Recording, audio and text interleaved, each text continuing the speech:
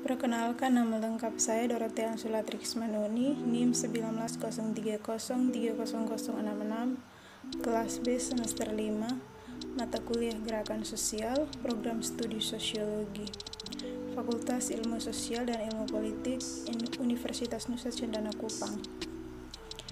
Video ini dibuat untuk membacakan hasil review buku dengan judul Global Diffusion of Protest Riding the Protest Wave in the Neoliberal Crisis. Difusi global protes mengendarai gelombang protes dalam krisis neoliberal yang diedit oleh Donatella Della Porta. Yang pertama, mengendarai ombak. Pada tahun 2013, sebagai siklus protes yang paling terlihat pada tahun 2019, tampaknya mereda, politik kontroversial mulai muncul kembali di seluruh dunia. Dengan melihat protes di berbagai belahan dunia, termasuk Turki, Brazil, Venezuela, Afrika Selatan, Bosnia, Bulgaria, dan Ukraina. Protes 2011 telah dimulai di negara-negara yang disebut PIIGS, Portugal, Italia, Irlandia, Yunani, dan Spanyol yang paling menderita akibat krisis keuangan dan dalam lingkungan yang sangat kontroversial. Sebaliknya, beberapa dari protes 2013 berkembang di negara-negara yang dianggap sebagai pemenang dalam istilah ekonomi seperti Brazil, Venezuela, Turki, Afrika Selatan, atau sebagai sangat penurut dalam hal politik kontroversial seperti Bosnia, Bulgaria, dan Ukraina. Namun demikian, terlepas dari perbedaan penekanan pada ruang kota melalui pendudukan alun-alun telah menjadi karakteristik umum dari semua protes ini. Gelembung real estate, melonjaknya harga rumah, dan privatisasi keterasingan barang-barang perkotaan umum secara keseluruhan merupakan landasan umum protes di berbagai tempat seperti Afrika Serikat, Mesir, Spanyol, Turki, Brasil, Israel, dan Yunani. Gerakan tahun 2011 dari musim semi Arab hingga Indignados dan Okupi telah didefinisikan sebagai gerakan melawan penghematan oleh korban krisis keuangan. Gerakan 2013 sering disebut gerakan kelas menengah.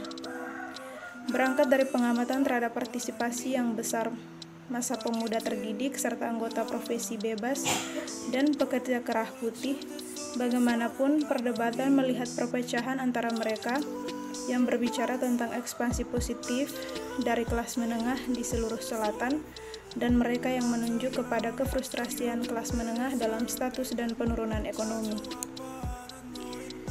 Dalam aksi, selama kampanye protes, semangat baru muncul sehingga menimbulkan rasa pemberdayaan yang sering berlangsung di luar kampanye. Dengan melihat bentuk protes, framing, dan organisasi, titik penelitian pada cara di mana ide-ide menyebar dari daerah-daerah di mana gelombang gelombang protes pertama kali muncul dan bagaimana mereka diadopsi tetapi juga disesuaikan dengan konteks baru. Teorisasi sering kali berorientasi pada penjelasan tentang dampak struktur pada aksi kolektif. Harapan utamanya adalah protes membutuhkan peluang dan sumber daya untuk berkembang dan sistem politik yang demokratis telah lama dianggap sebagai prasyarat. Gerakan yang berkembang dalam masa krisis telah sedikit dipelajari dalam studi gerakan sosial arus utama. Kita dapat berasumsi bahwa gerakan sosial yang terbentuk sebagai respon terhadap ancaman memiliki karakteristik yang berbeda dari yang muncul pada saat kelimpahan. Dalam analisis Kerbo tahun 1982, pergerakan krisis dipicu oleh pengangguran, kekurangan makanan, dan diskolasi ketika kehidupan sehari-hari ditantang selama krisis politik dan sosial.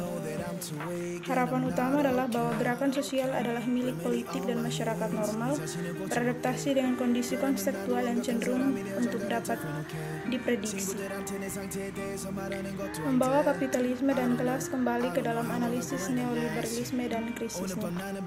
Volume ini berfokus pada neoliberalisme akhir dan krisisnya, dengan khususnya perhatian pada cara-cara di mana berbagai jenis neoliberalisme ditampilkan kembali tercermin dalam gerakan protes di seluruh dunia yang dianggap sebagai pendatang baru dalam gelombang perdebatan yang memuncak pada tahun 2011. Diperparah oleh kebijakan penghematan dikenakan kepada negara yang dipaksa untuk mengakses atau diancam lembaga pemberi pinjaman internasional, kebijakan privatisasi, deregulasi, dan liberalisasi juga tersebar luas di negara-negara berkembang. Riset dalam ekonomi politik telah menunjukkan beberapa karakteristik umum neoliberalisme yang dapat dilihat dalam dua pendekatan yang sangat berbeda. Yang pertama, dalam visi tren sebagai bentuk evolusi kapitalis, seperti versi yang dikembangkan dari pasca feodalisme pasca Fordisme. Yang kedua, dalam visi siklus seperti Polanyi sebagai bagian dari bandul besar pasar bebas dan perlindungan sosial.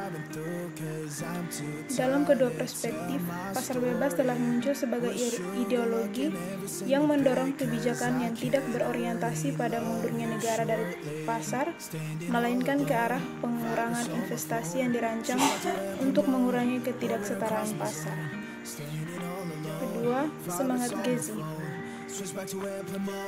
Merujuk pada mereka yang kehilangan nyawa dari peristiwa di Gezi, disadari bahwa mereka kebanyakan tinggal di lingkungan miskin atau berasal dari komunitas Alevi, yaitu orang-orang yang mengorbankan diri mereka sendiri tanpa berpikir dua kali, atau beralih ke semacam real politik. Jika pemberontakan Taman Gezi dipelopori oleh pengunjuk rasa muda dengan relatif moral modal budaya yang tinggi di jantung Istanbul, Mobilisasi berkembang pesat menjadi pemberontakan rakyat yang jauh lebih beragam secara sosial dan spasial. Namun, tidak berarti bahwa Gezi dapat digambarkan sebagai pemberontakan kelas secara langsung. Pertama, meragukan bahwa penggagas kelas menengah muda dan terpelajar mobilisasi bertindak sebagai intelektual organik dalam pengertian Gramscian. Kedua, Kelas politik dalam gerakan massa seperti Gezi tidak secara langsung merupakan turunan dari kategori pasar stratifikasi sosial yang menjadi milik tujuan pemprotes individu, seperti diskusi sebelumnya menekankan bahwa kelas tidak dapat direduksi menjadi pekerjaan. Seperti di tempat lain, kebijakan neoliberal di Turki setengah mengancam kelas menengah di antara lain dengan memaksakan kondisi genting terutama pada situasi kerja mereka yang pernah Lockwood definisikan sebagai salah satu dari tiga pilar kelas. Proses ini berawal dari pemerintah di tahun 1980-an dan bertahan sampai tahun 2000-an berdasarkan kebijakan privatisasi skala besar, perluasan subkontrak, dan tenaga kerja fleksibilitas. Perkembangan tersebut mempengaruhi orang-orang muda pertama dan terutama termasuk mereka yang mencapai atau sedang mencapai tingkat pendidikan tinggi. Sejalan dengan itu, beberapa kritik terhadap tesis kelas menengah pada poin Gezi pada proletarisasi di sektor jasa termasuk penjualan juru tulis atau sekretaris dan untuk kelompok profesional independen seperti pengacara, insinyur, arsitek, dan sebagainya. Transformasi sosial ekonomi yang didorong oleh fundamentalisme pasar adalah diklaim tercermin dalam motivasi para pengunjuk rasa Taman Gezi yang tidak hanya distigmatisasi kegentingan dan pengangguran, tetapi juga dicari untuk mempromosikan kreativitas. Dalam keadaan ini, pemberontakan Taman Gezi melakukan tindakan yang tidak terduga memicu protes massa pada kekuatan otoriter yang dipersonifikasikan dalam kepemimpinan Endorgan. Yang ketiga, kebangkitan populer Brasil, Juni 2013. Gelombang mobilisasi yang melanda seluruh negeri tidak hanya mengakibatkan pengurangan tarif angkutan umum, tetapi juga dalam pengaduan masalah lain yang tak terhitung jumlahnya, menekan otoritas publik untuk segera bereaksi terhadap suara-suara jalanan. Mengejutkan mereka, peristiwa bulan Juni mengingatkan kelas politik tentang kekuatan mobilisasi rakyat dengan cara yang tidak terjadi di Brazil sejak tahun 1992, memaksakan hubungan kekerasan baru antara negara dan masyarakat. Protes terhadap kenaikan tarif terorganisir secara strategis di hati dari Sao Paulo selama hari-hari berturut-turut dan tanggapan yang tidak proporsional yang tidak proporsional dari polisi memprovokasi perubahan signifikan dalam liputan media dan menyebabkan meningkatnya seruan bagi orang-orang untuk bergabung dalam protes dan untuk membantu mengubah Brasil. Jaringan media sosial adalah kunci dalam menyebarkan panggilan semacam itu dan mengambil alih peran MPL sebagai sumber penggerak utama. Sedangkan kualitas yang buruk pelayanan publik dan salah arus sumber daya publik jauh dari hal-hal baru di Brasil, organisasi protes semacam itu dan peningkatan jumlah panggilan untuk bergabung dengan mereka memberikan kesempatan yang tidak berubah-ubah bagi banyak orang untuk kembali menemukan potensi jalanan. Sementara beberapa menunjukkan kekecewaan dengan sedikit perubahan nyata yaitu June Journeys telah diproduksi dan dengan jumlah yang menurun dengan cepat, orang-orang di jalanan tepat setelah kejadian, yang lain setuju ketika itu sampai pada warisan terpentingnya. Orang Brazil bangun dan pulih kapitalis untuk marah dan terlibat dalam politik. Aktivitas lama bulat dalam menyoroti bahwa budaya mobilisasi sosial telah mendapat dorongan baru, baik dalam jumlah maupun bentuk, karena lebih umum dan diterima untuk menempati tempat-tempat sentral di kota dan untuk mengatur secara mandiri dari serikat pekerja atau partai. Memang Juni tidak berakhir pada Juni. Sebaliknya, itu menandakan awal dari siklus baru pertikaian di Brasil. Itu tidak hanya mendorong serangkaian protes khusus setelahnya, seperti sebagai mo seperti mobilisasi gerakan pekerja tunawisma atau pemogokan pemulung, opera operator transportasi jalan dan lain-lain, memberi mereka lebih banyak terlihat di media dan politik.